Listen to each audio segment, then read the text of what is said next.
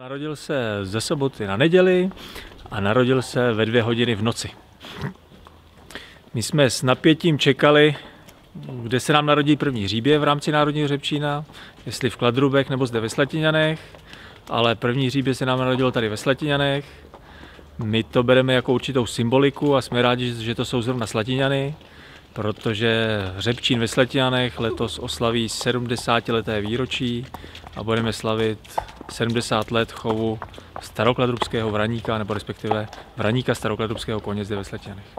Je to hřebeček, jmenuje se Sakramozo Inka 1030 a jeho otec je Sakramozo Mantova 10, což je plemený hřebec, kterého eh, jezdí v drezurních soutěžích naše jeskyně Iva Hejlová a můžu říci, že v loňském roce patřil mezi 20 nejlepších drezurních koní v České republice.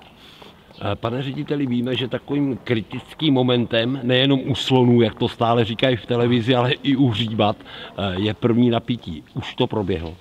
Samozřejmě v noci, protože tam je důležité, aby to proběhlo, dá se říci, do jedné hodiny po narození, aby to hříbě vstalo a napilo se mleziva. Takže to všechno proběhlo, proběhlo to všechno v pořádku, i porod proběh v pořádku a hříbě vypadá, že je zdravý, má se k světu. Vidíte, dneska je poprvé venku, je zvědavý, chová se naprosto normálně, přirozeně, takže je předpoklad, že budeme mít zdravýho starokadrubáka. Že pane řediteli, právě zachází eh, řívátko do stájí, ale my na vás máme ještě jeden dotaz. Co se právě teď děje v Kladrubech? Tak v Kladrubech eh, vás určitě zajímá rekonstrukce. Takže v Kladrubech pokračuje projekt obnovy Řepčína. Je to obnova součástí Národní kulturní památky Řepčín v Kladrubech nad Labem. Eh, z médií mnozím věděli to, že ten projekt, nebo respektive ta jeho stavební část, měla skončit k datu 31.12.2014.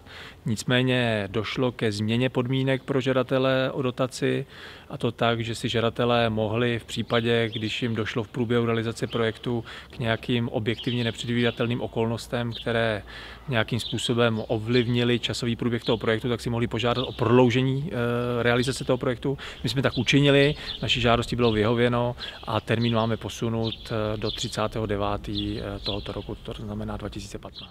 Jak je to s mírama, jak je to s váhama? Takže hřebeček váží 57 kg a jeho kohoutková výška hůlková je 101 cm.